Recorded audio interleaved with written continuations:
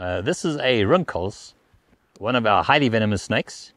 Um, it has both a neurotoxic and cytotoxic venom, but in most of the bites that we see, we see more cytotoxicity. We see pain, swelling, and a bit of tissue damage. Although we regard it as one of our deadly snakes, we haven't had a fatality in over 40 years. So it does resemble a cobra. It uh, makes a hood, but it's not a true cobra. True cobras are egg laying. Uh, true cobras have smooth body scales, whereas these snakes are live bearers and they have keeled body scales.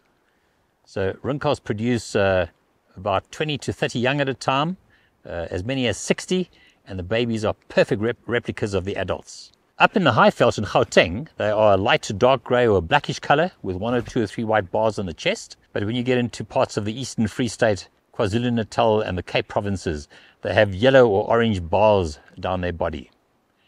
They feed on toads, they'll take rodents, they'll take eggs, and they will even eat other snakes. One thing that you have to be very careful of with the Rinkhals is it's well known for playing dead.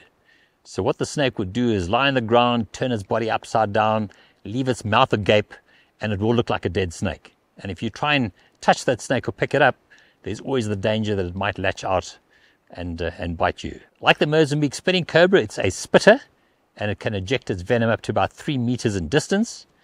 Uh, venom in the eyes obviously causes intense pain, and uh, should that happen, you need to get to a medical doctor. The first aid in the short term is to rinse the eyes with a lot of water.